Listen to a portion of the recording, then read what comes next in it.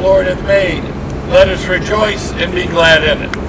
We welcome you in the name of God the Father who has created us, God the Son who has redeemed us, and God the Holy Spirit who sanctifies and keeps us in the true faith.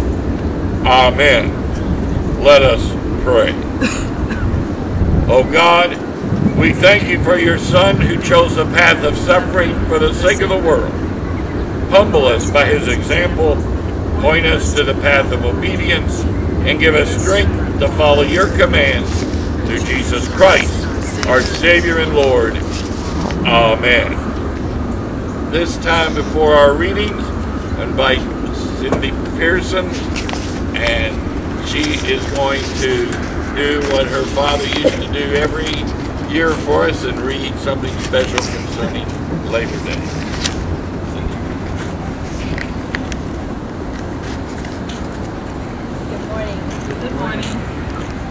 this is, as all of you know, my father for years read um, a poem um, about the flag or about our country.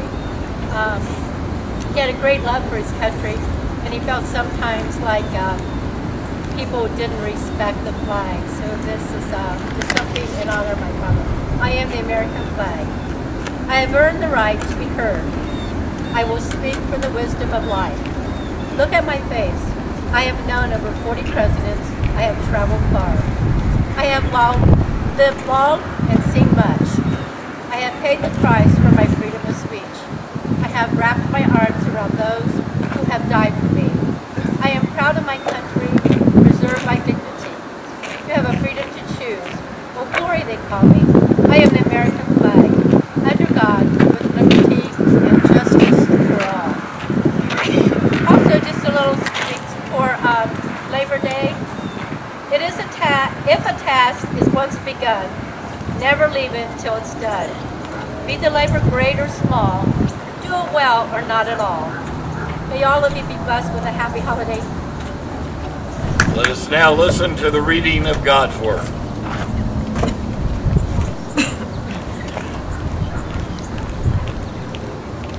The first reading this morning is from Jeremiah. O oh Lord, you know Remember me and me, and bring down retribution for me on my persecutors. In your forbearance, do not take me away. Know that on your account I suffer insult. Your words were found, and I ate them, and your words became a joy, became to me a joy and the delight of my heart. For I am called by your name, O Lord God of hosts. I do not sit in the company of merrymakers, nor did I rejoice under the weight of your hand. I sat alone, for you had filled me with indignation. Why is my pain unceasing, my wound incurable, refusing to be healed? Truly, you are to me like a deceitful brook, like waters that fail. Therefore, says the Lord, if you turn back, I will take you back, and you shall stand before me. If you utter what is precious and not what is worthless, you shall serve as my mouth. It is they who will turn to you, not you who will turn. And I will make you to this people a fortified wall of bronze. They will fight against you, but they shall not prevail over you, for I am with you. To save and deliver you, says the Lord. I will deliver you out of the hand of the wicked, and redeem you from the grasp of the ruthless. The word of the Lord. Thanks be to God.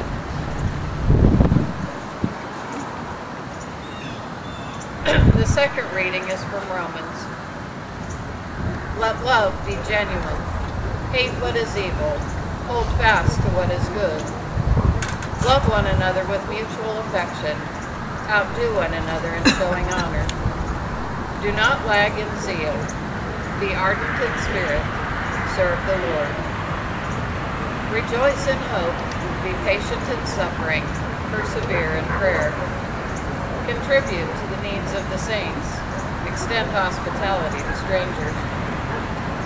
Bless those who persecute you, bless and do not curse them.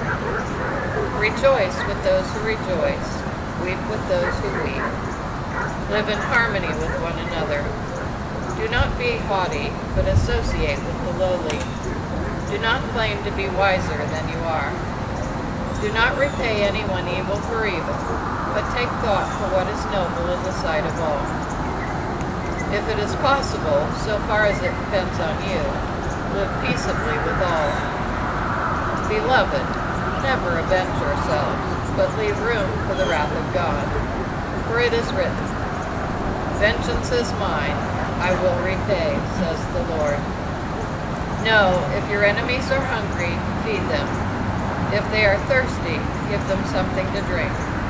For by doing this, you will heap burning coals on their heads. Do not be overcome by evil, but overcome evil with good. Thanks be to God.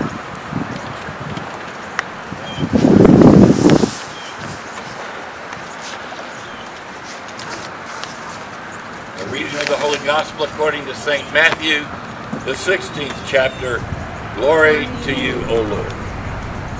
From the time on after Peter confessed that Jesus was the Messiah, Jesus began to show his disciples that he must go to Jerusalem and undergo great suffering at the hands of the elders and chief priests and scribes, and be killed, and on the third day be raised.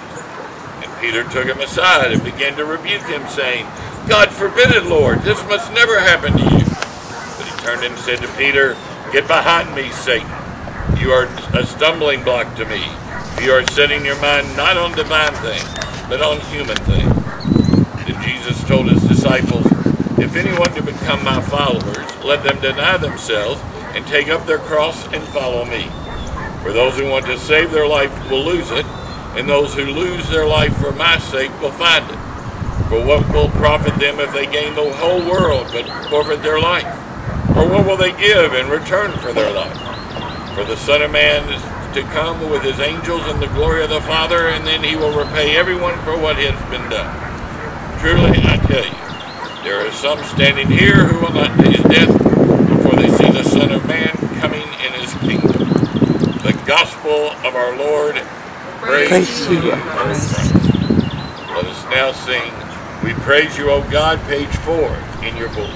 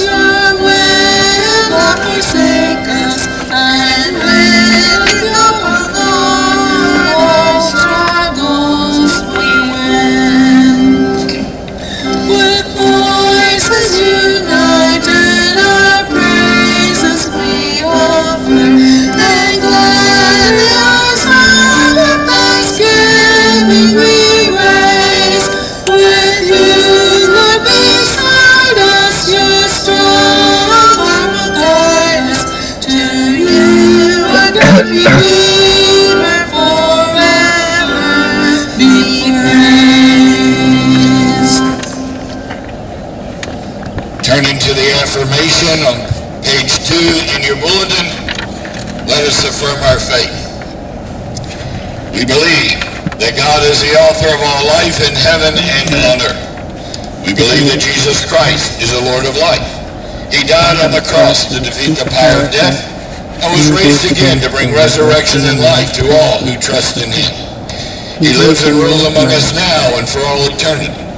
We believe the Spirit of God is alive among us, daily giving us new birth, filling us with grace and truth, and bringing us into one life with each other in harmony with the whole creation. we praise God for life.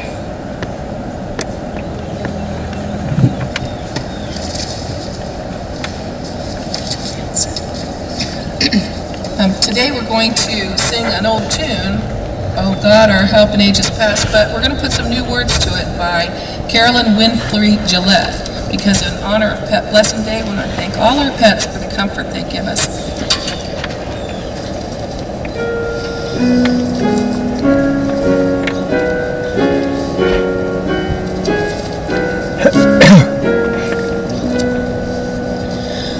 Oh God,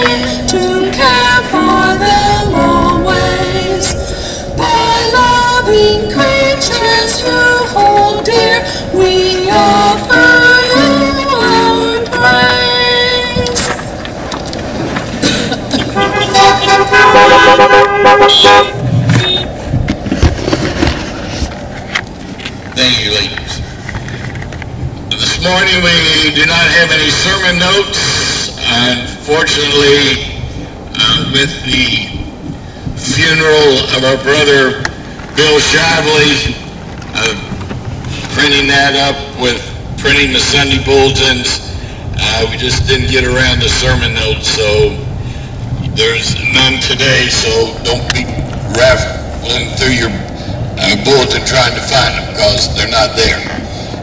Also, please, as I look out, there are a few parking lights on uh, and some headlights, so please check your dashboard to make sure that y- your lights are off. Grace, mercy, and peace to you from God our Father and our Lord and Savior Jesus Christ. Amen. Tragedies. Tragedies are all around us. Every day, tragedy of the immense flooding going on in the in Texas and the Houston area and surrounding from Hurricane Harvey. So we uh, see all the efforts going into trying to help uh, that tragedy due to the force of that hurricane. But this morning I want to talk to you about another tragedy.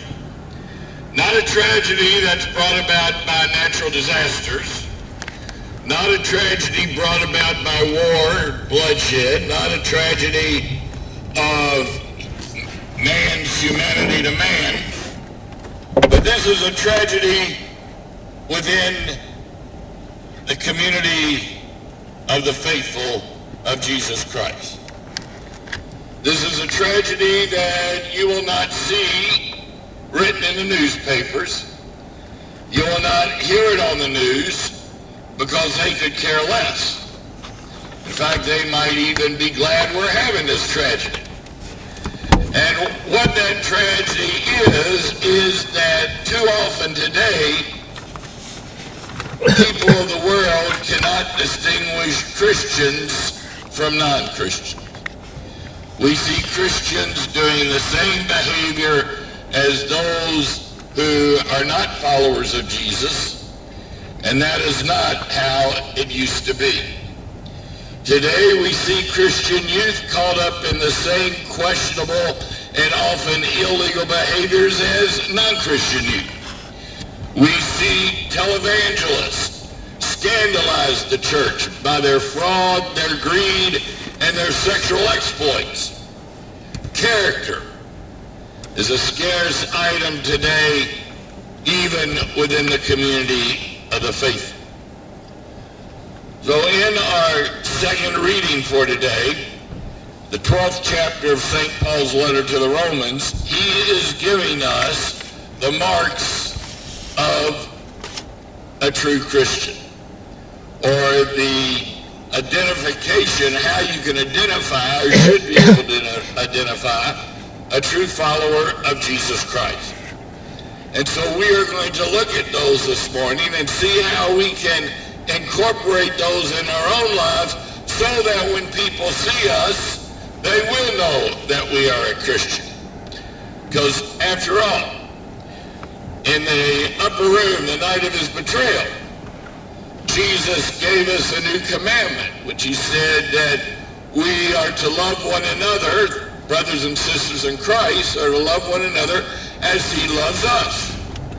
And then he went on to say in the 13th chapter of the Gospel of John, verse 35, By this all people will know that you are my disciples if you have love for one another.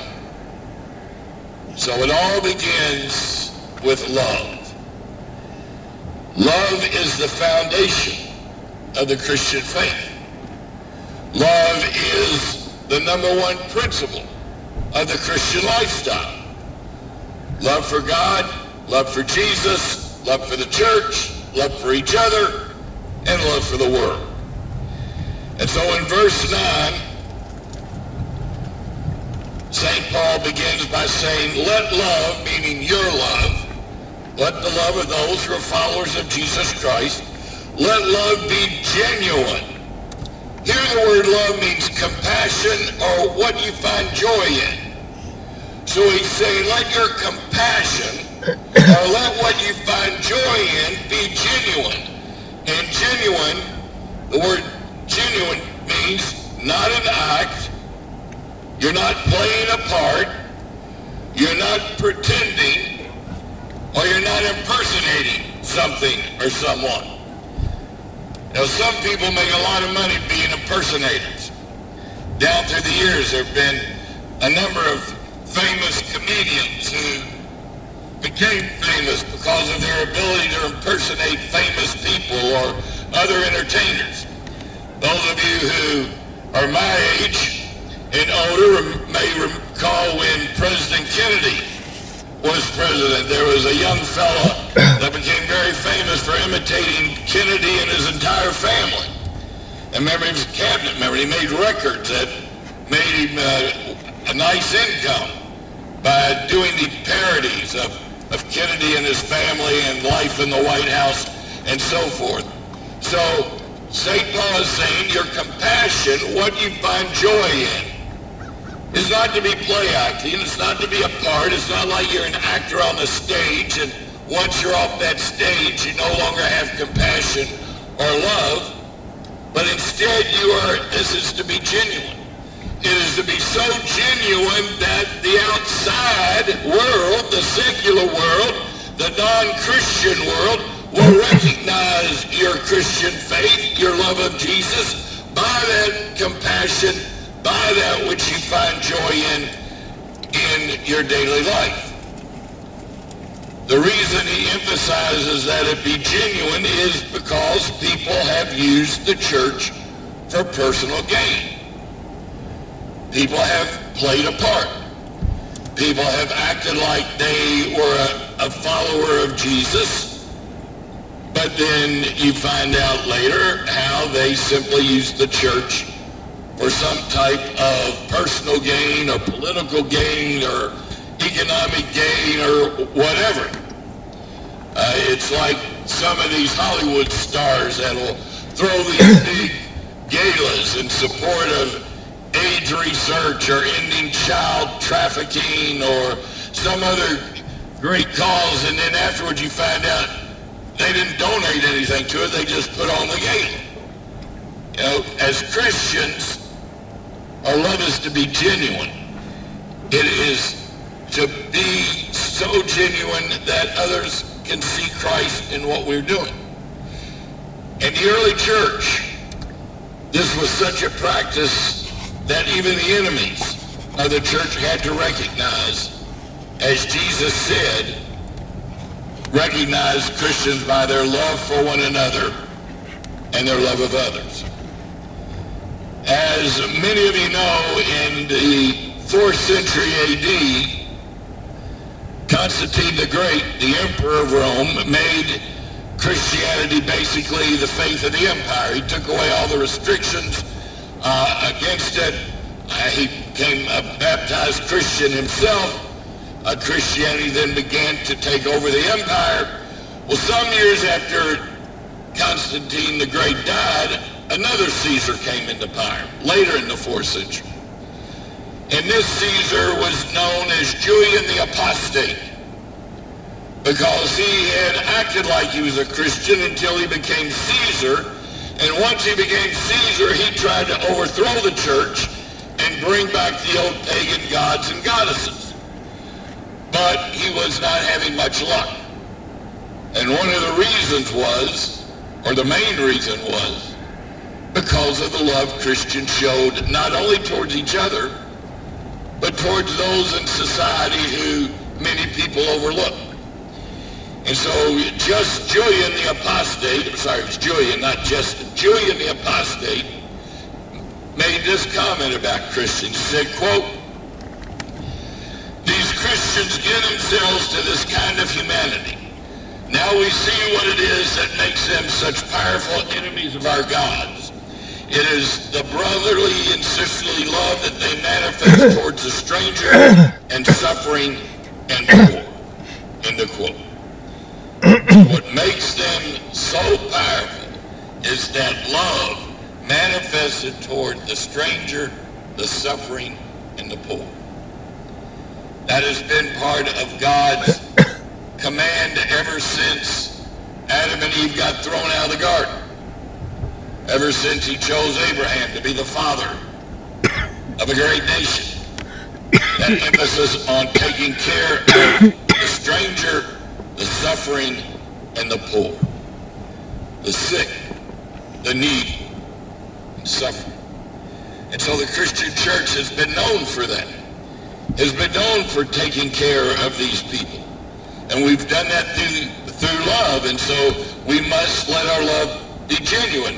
Then he says, abhor what is evil. That is, the word abhor means to have a horror of something. It means to withdraw from hatred, to loathe hatred. Um, evil is active opposition to good. So he's saying, stay away from, loathe, uh, do not be part of anything that is in opposition to the gospel of Jesus Christ. Anything that is in opposition is evil. Anything that tries to stop the sharing of the gospel of Jesus Christ is evil. And so we as Christians demonstrate our obedience to Jesus Christ, our loyalty to Jesus Christ, by staying away from those things that harm the gospel. Hold fast to what is good. The word hold fast means to glue something together, to cement it, to hold it fast, to join it together. And so we hold fast to what is good, which of course is the gospel of Jesus Christ. Loyalty to Jesus Christ. Being that little Christ sent to our neighbor. Loving one another so that the world will know we are Christians by our love. And so by doing this, we overcome that tragedy of today of the world not knowing we are Christians because we're too busy acting like everybody else. We do this, this separates us from them. Then in verse 10, love one another with brotherly affection. Outdo one another in showing honor. Love one another with brotherly affection means basically love one another like family members love one another. That you have this common bond that, a tie that binds you together. And that common tie is that faith in our Lord Jesus Christ. And so, by loving each other then, we outdo one another in showing honor. That means we lead the way in showing deference or respect to one another. In other words, we don't wait for somebody else to lead the way in showing deference and respect to one another. We take it ourselves in case somebody else isn't leading it so they'll know. In other words, as brothers and sisters in Christ, we're to allow the Holy Spirit to God what happens in the church instead of going by the ways of the world, who's the most popular, or who puts out the best campaign, or who most makes the best friends. The church doesn't operate like that. The church, we are we give deference to one another. We do not try to blow our own horn and say that we are so good that we are entitled to this or that, but instead we lead the way in showing deference or respect to one another. There was a spelling bee taking place in a school and it had come down to two girls, Betty and Susan. Betty was a poor girl whose mother was a hard-working widow trying to make ends meet. Susan was the daughter of a well-to-do farm family.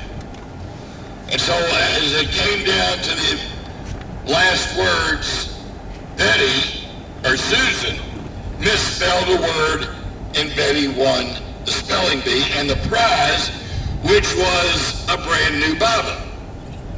So on the way home, Susan's mother asked her, said, couldn't you have spelled that word? And Susan said, Yes, I could. I knew the word. Mother said, well then, why did you miss it? And Susan said, well, Mom, you know Betty is quite poor, and she doesn't get many presents. She wanted that Bible very much, and she's tried so hard for it that I thought I'd let her win it. Mother then said, well, Susie, what made you decide to do that? To which Susie said, well, it was from our Sunday school lesson today in which we learned to outdo one another in showing honor. This young teenage girl understood what St. Paul was saying. She showed deference and respect to Betty and her efforts and knowing that she herself could, or her family could buy a Bible like the prize, and Betty's couldn't, she deferred to Betty and allowed her to win. So a few days later, it was Susan's birthday, and one of her gifts was a brand new, beautiful Bible. And on the flyleaf were written the words of Romans 12:10, outdo one another in showing up. If we do that, we allow the Holy Spirit to work, the Holy Spirit to do its job. We don't get in competition with each other. We don't get into petty bickering with one another. We don't get mad because grandpa didn't get elected Sunday school superintendent or or dad didn't get elected head usher or all the other things that break out cause fights in churches. Uh, mad because the church decided to paint the doors some other color than what you wanted or picked a different carpet or all the other crazy things that cause churches to be divided and to break up, if we outdo each other in showing honor to one another, this doesn't happen. And the world will know we are Christians by our love for each other. Then he says in verse uh, 11, do not be slothful in zeal, that is, don't hesitate, don't delay in your diligence for the faith. Be fervent in spirit, that is, to boil with heat. Or the picture boiling over with heat. It's like putting soup on the stove and you forget about it and it boils up and it spills over. You're supposed to be that hot with the Holy Spirit. Allow the Holy Spirit to guide not only you, but the congregation and the community of faith.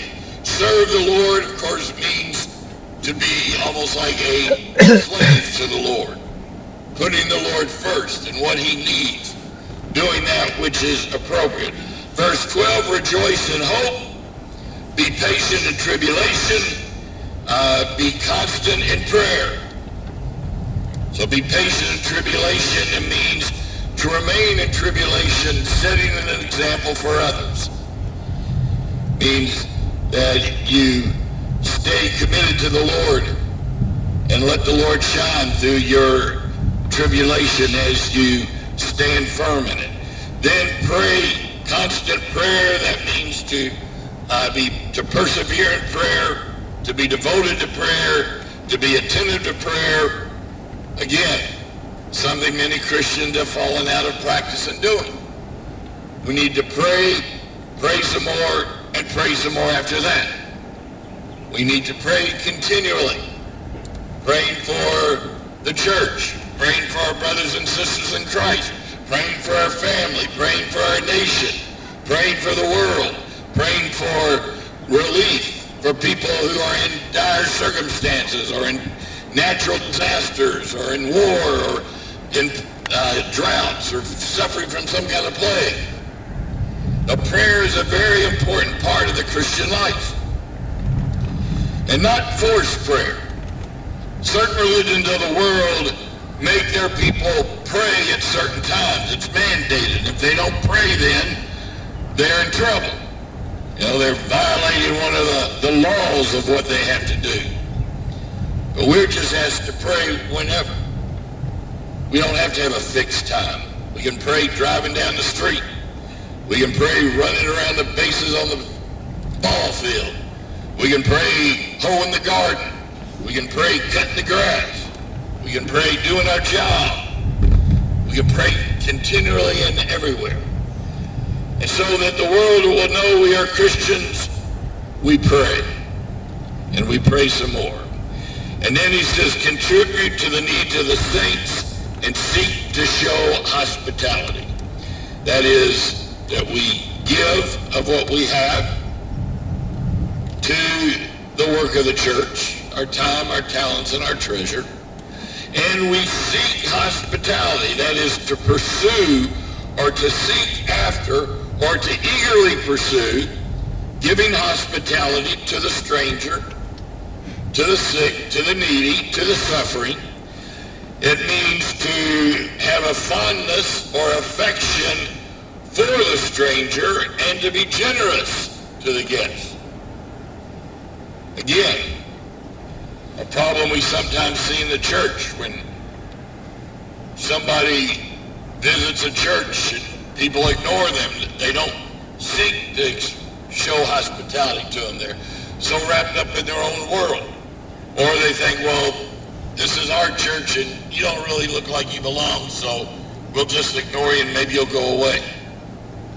And as followers of Jesus, we're to pursue hospitality with a stranger. We're to have a fondness for it. We're to seek it out. So if we follow these directions of St. Paul as he lays them out in this 12th chapter of Romans, we can overcome this tragedy in the church today of the world not, be a, not being able to separate us from non-Christians. But if we follow St. Paul, then the world will know, as we fulfill Jesus' words, will know we are Christians by our love for one another. Amen. The peace of God which passes all understanding, keep your hearts and minds through Christ Jesus. Amen. Let us Let us pray. Almighty God, in giving us dominion over the things on earth, you made us fellow workers in your creation. Give us wisdom and reverence over the sources of nature, that no one may suffer from our abuse of them, and that generations yet to come may continue to praise you for the bounty through Jesus Christ our Lord. Amen. The psalmist writes in Psalm 8, O Lord, our Lord, how majestic is your name in all the earth. You have set your glory above the heavens. Out of the mouth of babes and infants you have established strength because of your bows to still the enemy and the avenger. When I look at your heavens, the work of your fingers, the moon and the stars which you have set in place, what is man that you are mindful of him, and the son of man that you care for him? Yet you have made him a little lower than the heavenly beings and crowned him with glory and honor. You have given him dominion over the works of your hands. You have put all things under his feet, all sheep and oxen, and also the beasts of the field, the birds of the heavens and the fish of the sea, whatever passes along the paths of the sea. O Lord, our Lord, how majestic is your name in all the earth. Let us pray. Gracious God, in your love you created us in your image and made us stewards of the animals that live in the skies, the earth, and the sea. Bless us in our care for our pets and animals. Help us recognize your power and wisdom in the variety of creatures that live in our world and hear our prayers for all that suffer over work, hunger, and ill treatment.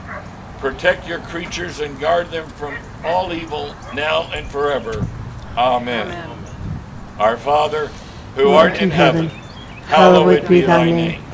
Thy kingdom come, thy will be done, on earth as it is in heaven. Give us this day our daily bread, and forgive us our trespasses, as we forgive those who trespass against us. And lead us not into temptation, but deliver us from evil. For thine is the kingdom, and the power, and the glory, forever and ever. Amen. Bless him, Almighty the Father, Son, and Holy Spirit. Bless him, protect him. See, I'm the one that talks about. Bless him, Almighty God, the Father, Son, and Holy Spirit. Bless him, protect. Amen. May the blessing of Almighty God, the Father, Son, Holy Spirit bless and protect you. May the blessing of Almighty God, the Father, Son, Holy Spirit bless and protect you. Amen. Hey, Jackson. Hey, Jackson. May the blessing of Almighty God, the Father, Son, Holy Spirit bless and protect you now and forever. Almighty God, the Father, Son, Holy Spirit protect and bless you now and forever. Amen. May the blessing of Almighty God, the Father, Son, and Holy Spirit bless and protect you now and forever. Amen. Let us now receive the benediction. May the lo- love of the Lord Jesus draw us to himself. May the power of the Lord Jesus strengthen us in his service. May the joy of the Lord Jesus fill our hearts. And may the blessing of Almighty God, the Father, the Son, and the Holy Spirit be upon us and remain with us always. Amen. Amen. We conclude with O Beautiful for Spacious Skies, page 6 in your bulletin.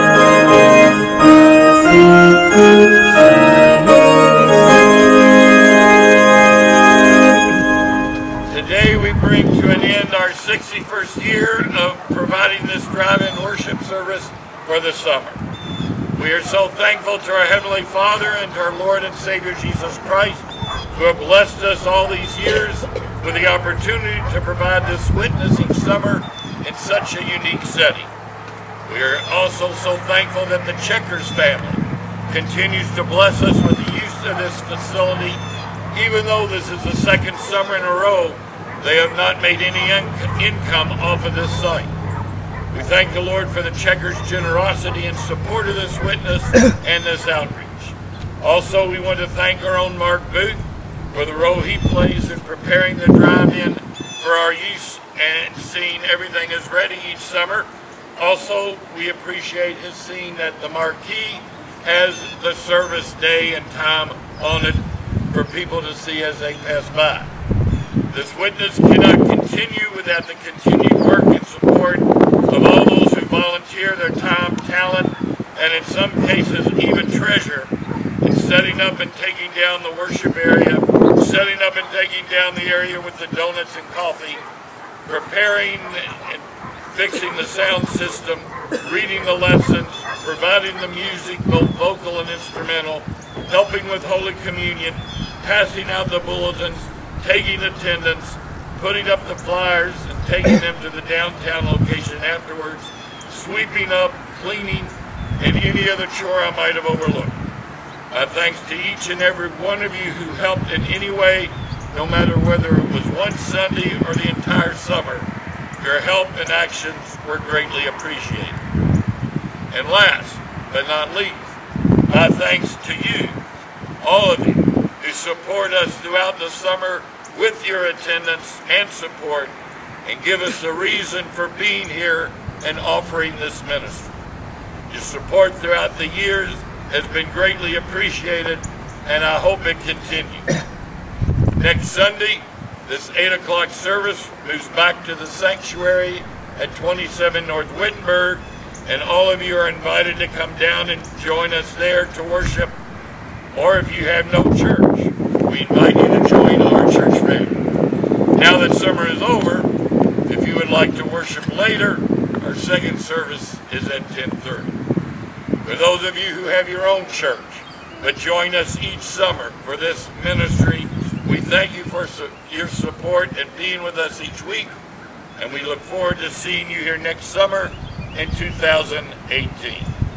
May God bless you richly with his grace in Jesus Christ. Go in peace, serve the Lord. Thanks, Thanks be to God.